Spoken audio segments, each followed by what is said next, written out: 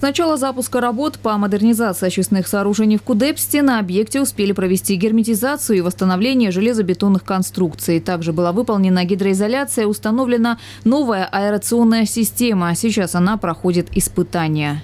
Очистные сооружения, построенные в 1971 году, э, ну, фактически исчерпали свой ресурс, поэтому было принято решение выполнить комплексную модернизацию.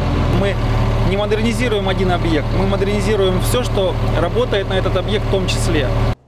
Так, на насосной станции Чкаловская уже проведены работы по модернизации. Теперь с очистными сооружениями в Кудепсте она связана двумя нитками напорных коллекторов. Это обеспечит стабильную работу системы водоотведения Адлерского района даже во время курортного пика.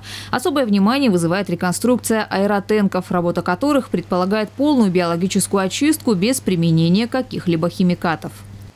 Аэротенки являются сердцем очистных сооружений канализации. Здесь находится активный это сообщество микроорганизмов, которое очищает сточную воду от растворенных в ней загрязнений. Время нахождения сточной воды в аэротенке колеблется от 6 до 8 часов. Это очень продолжительно.